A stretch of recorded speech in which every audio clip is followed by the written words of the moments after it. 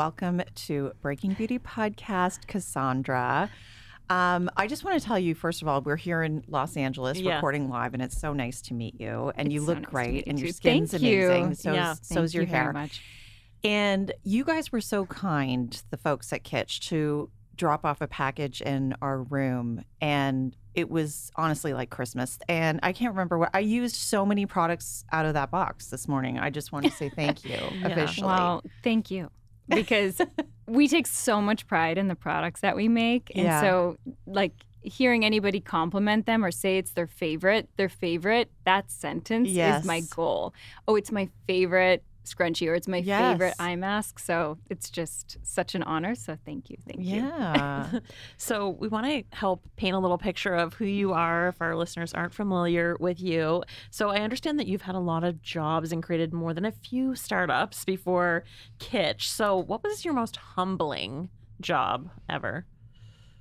That's a it's and I don't mean to Pollyanna this at all, but I didn't ever really like dislike a job. Like there were always like I always made it fun. Uh huh. Um it's interesting because I think I started Kitsch when I was really young. So um before then 25, yeah, I was 25. That's incredible. so only a year ago. Right, Just Yeah. kidding. exactly. Honestly, it looks like it. Yeah. but but no, I I mean I did everything from, you know, babysitting to waitressing to yeah, I Mhm. did people's makeup and I did I bought a spray tan machine. Like I did all of the I managed a cupcake shop so that I could t- and it was like a 5 a.m. job so then I could have another job in the Mhm. afternoon. So um but I really I took something I, I talk about it's like very slumdog millionaire. I took something from all those jobs and I found something great about each one. So it was never really like terrible for me Mhm. Yeah. but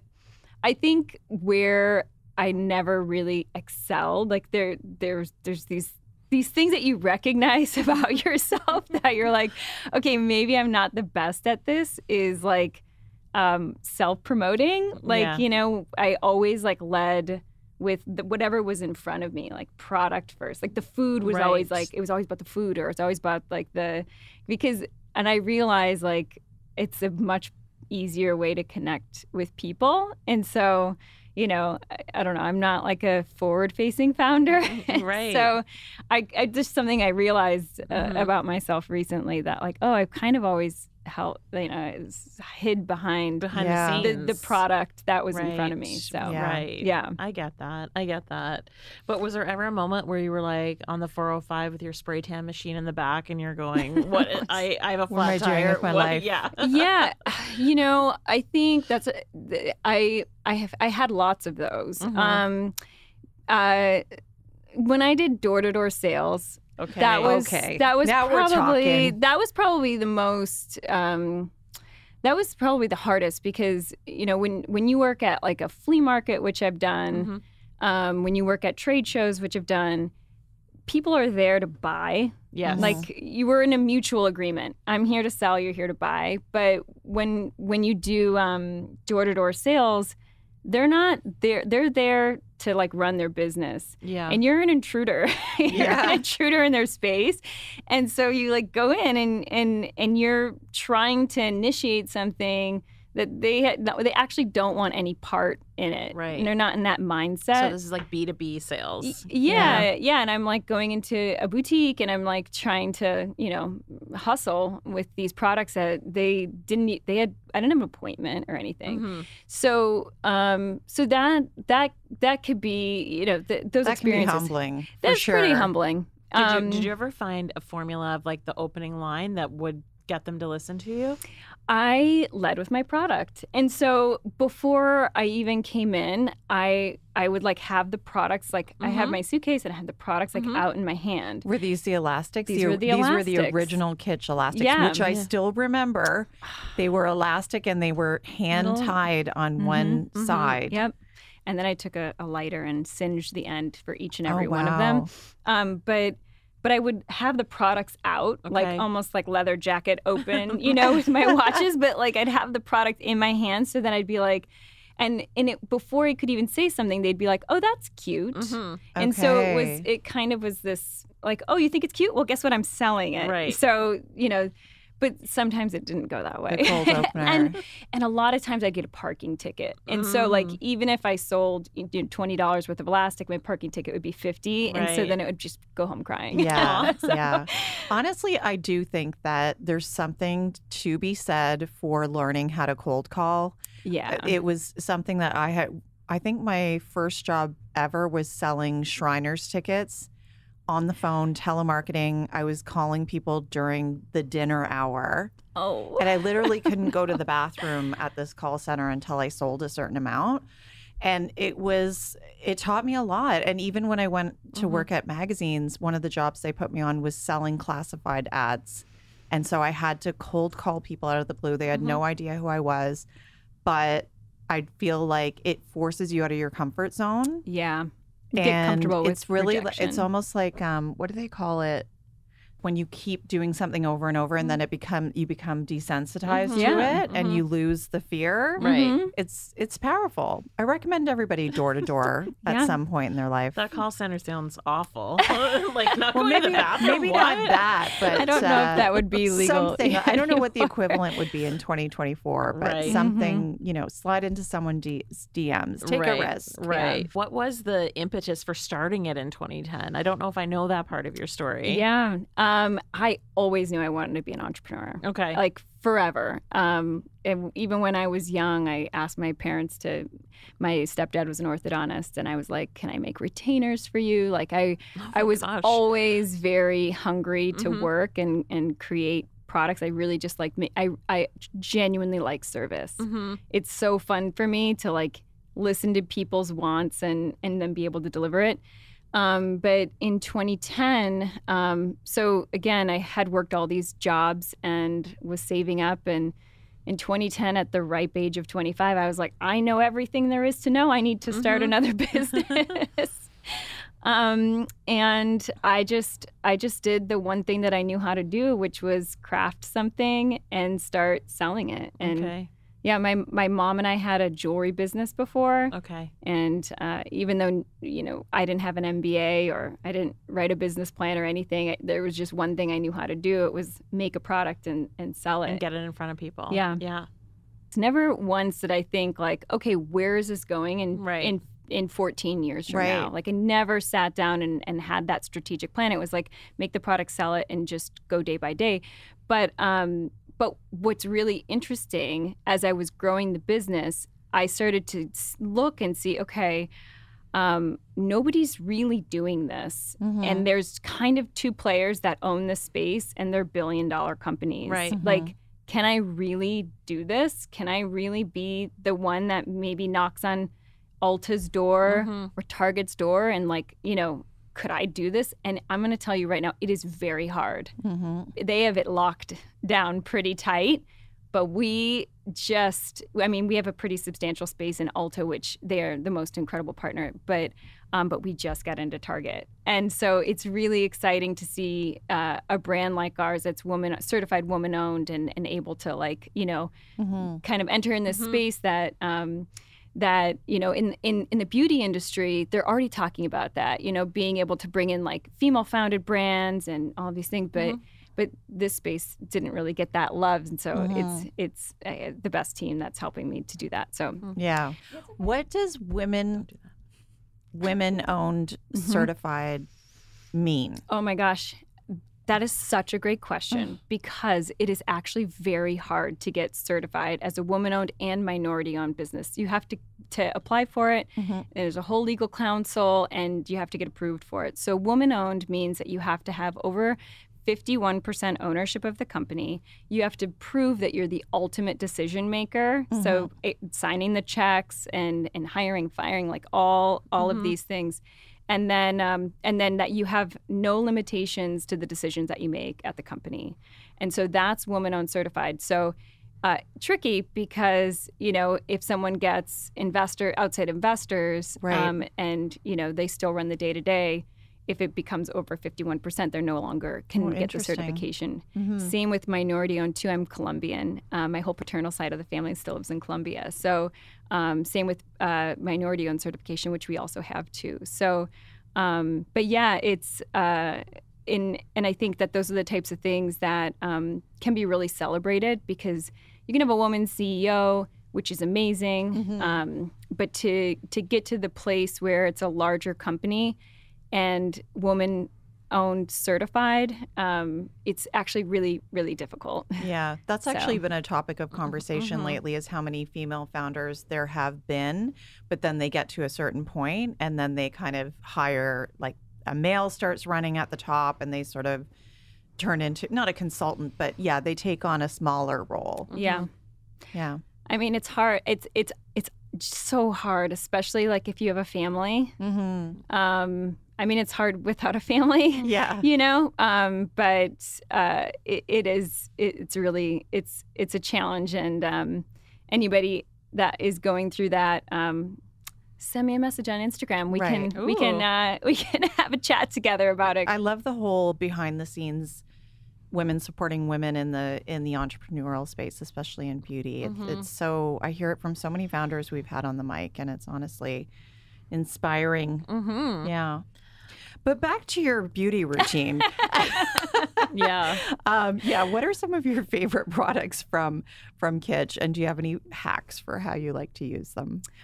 I love our Kitsch Spa headband, the spa headband where it Okay. just pulls all your hair up. And then I think we sent you this flexi shower cap Yes. too. Yes, Like used that. it this morning. Yeah, Mhm. um, that product is incredible. And truly, our shampoo and conditioner is amazing. Right. Um, I think that that is one of those products where I'm like, dang, we made a really, really good product. And, um, and we just keep getting better and better at it. And we have a couple new items coming out soon too that I think are going to be, I don't know, home runs as well. When are when are they coming out? We have a slick stick and a dry shampoo, Oh, and they'll yes. be coming out in the next month and a half. Okay. So um, those are two to look out for. Mhm. Okay. And this shampoo and conditioner, everyone, they are solid. They are bar Mhm. shampoo and conditioner.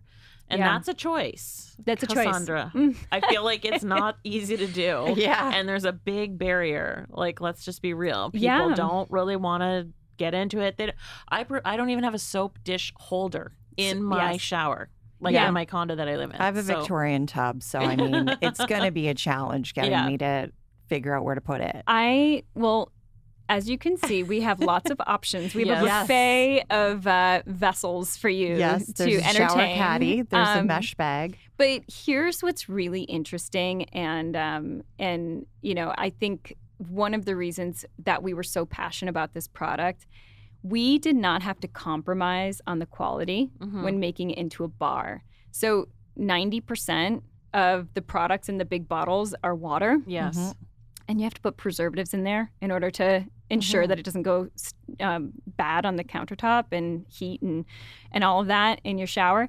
Um, and so we were able, like, I'll give you an example: uh, a, a mask, a hair mask, or a conditioner might only be about four percent of like those really like hydrating butters that you want to really make that nice slip in your hair. Our bar has 12, 12%. Mm. And you can't really do that unless you start like just straight up putting oil, um, you know, in your shower and start Right. pumping it that way.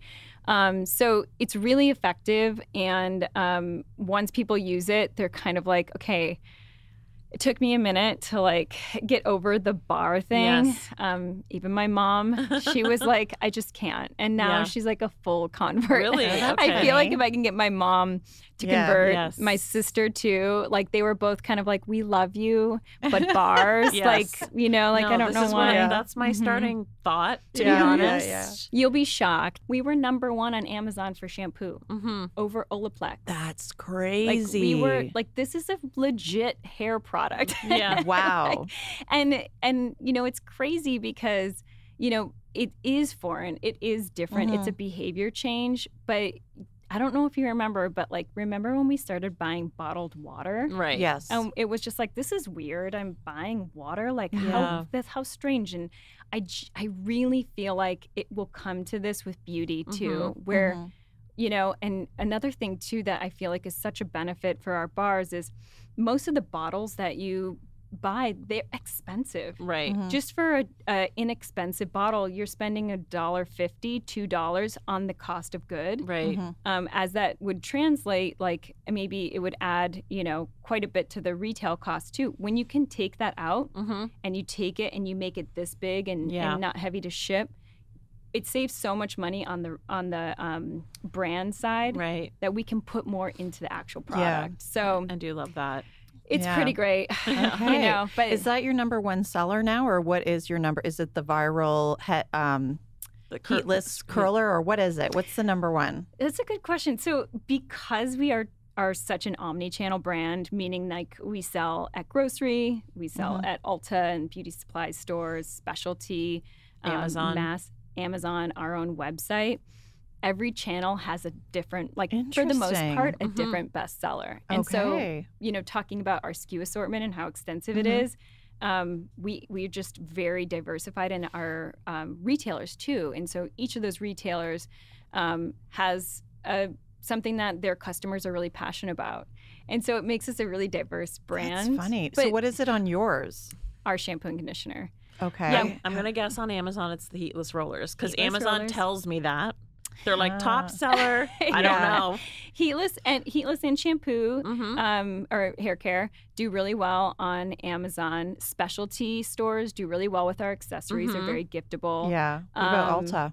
Ulta pillowcases, Oh, um, interesting. al- also shampoo and conditioner heatless. Mm-hmm. okay. Our dermaplaner does really well too Wow. at Amazon. Mhm. Or, I'm sorry, it's at a whole it's a whole uh, bathroom Uni- like universe. lifestyle It's- universe now. Um, I do have a question. How can you name check how many units of the heatless rollers you sold on Amazon last year, oh my gosh, or a ballpark unit number? you know that's that's a tough one.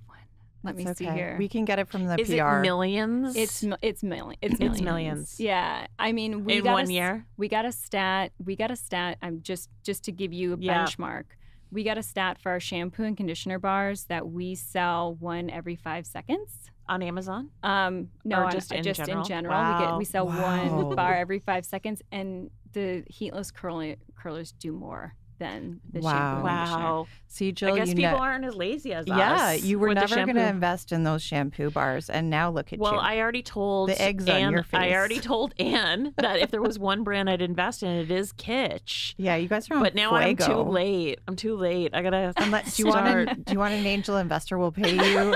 we will pay you in Hugs and kisses. in consulting that you really don't need. Maybe this is the time to show her my idea. Oh, oh wait, yeah. I, this is my favorite. Let's I love partner together. Okay, actually, I want to make this breaking beauty, and I'm putting this on the record now. So, but you you might be able to. Okay, so this is my favorite shower cup I've ever used. It's Oh. so janky looking, guys. Okay.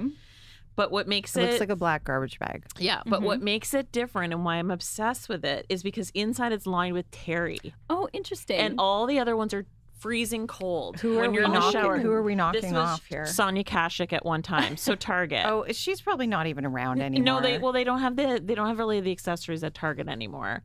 Uh, There go. Anyways, um, this is my idea because Mm-hmm. when you're in the shower and you have just the regular one on, it's just like, and also the noise it makes. Like this is just a more. This was probably twelve dollars at the time, and it's Mhm. like luxury. And I got so many people Breaking hooked. Beauty by Kitsch. I'm not even kidding. Can I want to do it- this. How can do we it do look it? like headphones? No, I'm joking. we could have a headphone print on it. But guys, like I got so many people hooked on it, and everyone is asking me where do I get another one. That's really I love this. You know, Yes. I, I've I've I've we Let's work surveyed- together. We surveyed We some take of a the very terry small cloths, so that's really that's interesting. Yeah. um, that's interesting that you like the terry cloth. 'cause Yes. we got mixed reviews on that. Interesting. That, Okay. uh, yeah, Maybe if you have a different hair texture, they find it too. Yes. There's too much friction or something. curly girls. I ju- see. Yeah, I we, see. We can't do a long loop terry. It Right. Drives, the- Okay, drives the so maybe crazy. it's so maybe But- we- Right. But yeah, Okay. but that's where the satin line ones come into play. Yes. But I mean, I think that there is a place. I Mhm. think there's a place. Yeah. I mean, we could do our flexi one with Terry on the inside. Right. Yeah, Right. okay. Unless you like the over the top. Well, it does. Yeah. No, I like. I like it all. I just this one's so stretched out. It's like embarrassing that I even just- showed it on this is camera. just the tip of the this iceberg. one is like an old stretched out T-shirt that you I just can't throw goes, out. You know. I, I, d- I have an Abercrombie and Fitch sweater from the day that I met my husband. Oh. So I, I definitely have those in my closet. oh my So, gosh, yeah. amazing. So thank you for indulging me. I Okay. will anytime. You uh, you can text me and Okay. be like, Here's my next. I like these slippers. idea. Like, I don't care. okay, so these this is our like we've been having fun with product development. What is something that you created that you can now admit was a total flop, whether Mm. it ever hit the shelves or not? Okay, well, this there's a couple things. I think there's a couple things. One, I really wanted to make a headband with a veil that was Mm. used for putting on clothes that so Right. you didn't Oh, get your makeup on it. Yes. And um, at the time, I think my staff just thought I was bonkers because it was Mhm. like the veil then just like came around and Mhm. hooked underneath your chin. And Right. um, I think that I think that was just they were like, "Where are you going?" too here?" much. Yeah, I thought that the towel. I mean, I've had a, a couple like even our shampoo and conditioner when we first launched it. Um, everybody was kind of like, "What are you doing?" Right. You know, um, nobody's. I, I multiple people said nobody's ever going to buy this. Yeah. Um. So. You know that was that was it was it, it was it felt like a flop in the first few years. Well, I was just curious because you ha- do have the the dermaplaning razors, which I've used, Mhm. and a lot of my girlfriends use those as well. What other face care products do you have that maybe I'm not as familiar with? We have a V line face roller. Wait, this Oh, yeah. is one of the ones. This is one of the ones where I was like, God, this product is so good. Yeah. Where is everybody? Like, do we not want snatched chins? Right, like, right. what is going on? And um, it's like a face massager, and it comes up, and you know, like, believe me, I'm not the. And again, this is where I come back to like, I want Kitsch to be the favorite. There's Right. V line facial rollers Right. out there, but like we put like a ice roller on the other side, so Okay. it's like you ice roll with on your eye, and then you V line with your Mhm. neck. and- This is like one of those lifting ones that kind of goes out like Yeah. a wishbone. yeah Like you yeah, with and the it rollers. really gets Yeah. into like uh into the jaw muscles. Mhm. That one was one of those products where I was like, this one's gonna be like a hit. a total hit, and that was just kind of like, okay, Yeah. sounds good. Thanks Right. for you know making that. Yeah. Um, that's another facial facial care. Oh, you know, one other thing that we did that um that one was one of my favorite products was we made organic cotton rounds. Oh. Oh, I um, love those. They were so good, right? Yeah. Um, but you know, people were like, I'm sticking with my cotton balls. Mhm. Oh, So yeah, weird. So yeah, okay. um, maybe we're a little early, but I, Yeah, get- but I also maybe. understand that there's like a, a certain level of trust with certain categories. Yeah, and for sure. We sure. weren't ready to play in that area yet. Yeah, exactly. I understand that you're launching a shower head filter we next. Are. We are. Tell us about that. I honestly want one, and um, there are some out there. So, Mhm. how is yours different, and how did this come to be? Well, I live in Los Angeles. Mhm. Number one, the water here is crazy. Um, and number one, I, I really, I don't know why I just said number one Mhm. twice. Let me start over. Number Yeah, two. Go ahead. number number two. Um, no, I, I, it's, it was one of those things. Like again, we're in the shower with the customer. Mm-hmm. She's she's using us for shampoo, conditioner, shave, body Mhm. wash. That was another skincare thing that we have Right. too. Um, and you know, the shower head filters that are out there right now are crazy expensive. Yes, Mhm. that's They're true. really expensive, and um, you know, I I feel really lucky that when I first moved out here, I got to live in a lot of different apartments, and Mhm. it doesn't really work for a lot of um, small bathrooms. Right. Um, you know, the shower ends up, you know, hitting your forehead Yeah. because the head is so long. And so, what we aimed to do was something a little different. We wanted the actual filter to just be what we're selling. Okay. So you can use it with any shower head. Um, you can use it with the handheld shower head. You can use it, you know, in your regular. Uh, you could use it in a rain shower or the shower head that comes out. Um, but it's the most incredible filtration system. Mhm. Um, right now, we just have one type of filter. It's our favorite thing to do to do like the little tests, strips, test strips with it okay. Mhm. and uh, and check and see how clean all of our water is. And we have consumer testing happening right now, and everyone's like, "Oh my gosh, I can't believe it! My hair, my skin, everything is like so much better. I'm drinking my shower water." Oh my gosh. Um, I want yeah. this so bad because I I have rosacea and Oh, it's- so it's I have often thought to myself that Mhm.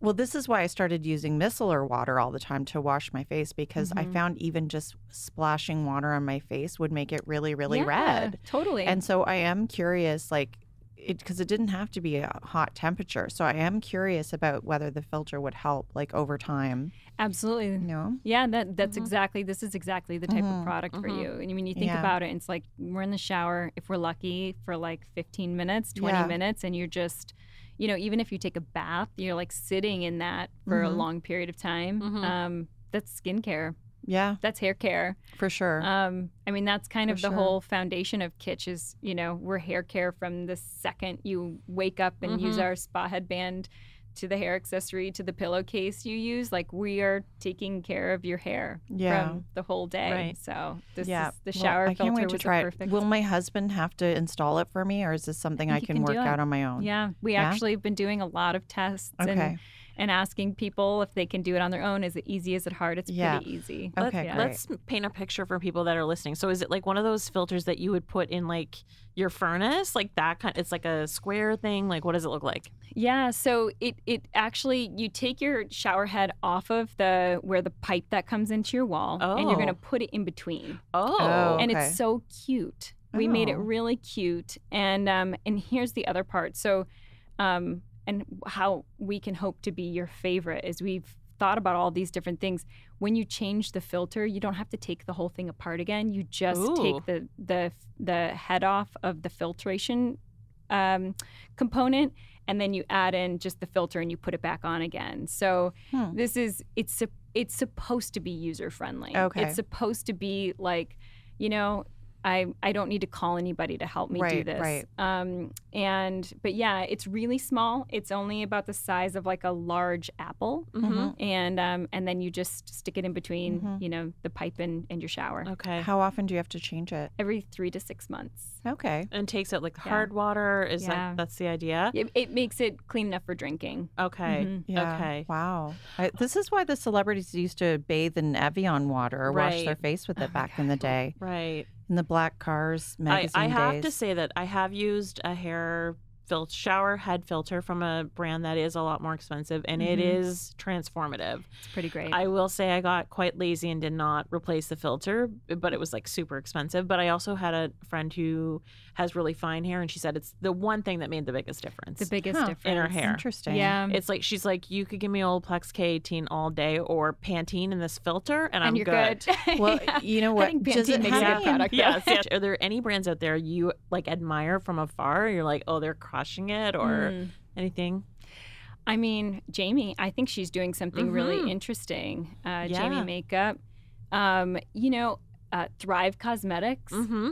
I, I, I, I chat, I chat with uh, Karissa, and you know, one of the things that I say to her all the time, like, every beauty brand, every hair care brand, every brand has a choice Mm-hmm. and like what their mission is like the fact that you give back to so much like that's your choice to Mhm. give back like that's pretty epic So, you've been in business for 14 years with Kitsch.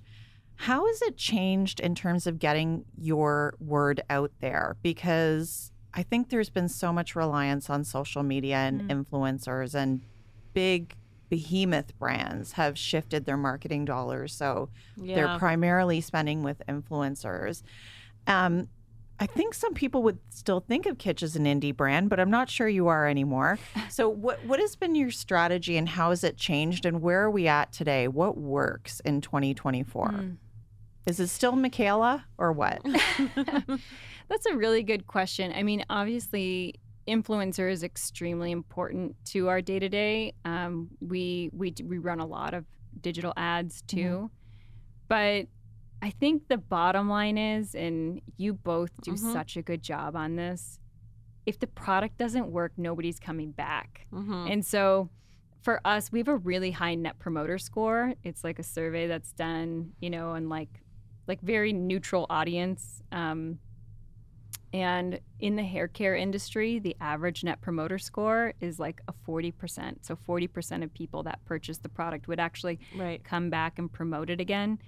Um, Kitsch has a 60, over 60% net promoter score. And I think that that is like the most important thing. And um, so having great product, number one, is what works. Um, because I've purchased so many incredible indie brands that got me. And, um, But when I used it, I was Mhm. kind of like, okay, this pump is forty dollars, you know, Yeah. and I'm putting it on my face, Mhm. and Right. and I, I, but I don't go back and I don't reach for Right. it, and and I want to be the favorite. I want to be the one that's accessible, and people don't have buyer's remorse. Yeah. And so number one, it needs to be effective product because then when you do the marketing, Mhm. then you then the customer comes back and they're excited to to see you Mhm. in their level of satisfaction. But we actually don't do a lot of influencer events. Mhm. Um, I don't do a lot of self promotion of me. This is such a treat to be on here. Um, I spend a lot of my time behind the computer actually running the the day to day business. Um, but we really focus on talking about the products themselves to the customers. So one thing that was really helpful for us in 2023 is licensing deals Right. and one of- collabs. collabs. Mhm. Um, one of the benefits that we got from that was, hey, we like Barbie.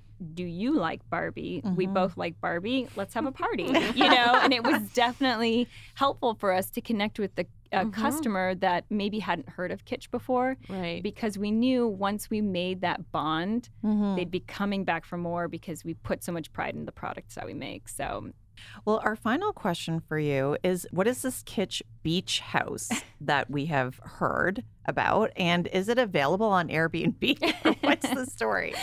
Yeah, so pre pre pre pandemic, um, we we're we, this was like in the like high influencer event Mhm. um, time. The tripping with blank? Yes, Yeah. Absolutely. We were like, you know, we can't really, you know, be sending people to Abu Dhabi and Yeah. doing all this stuff. Um, and so we had um, invested in a beach house out in Malibu.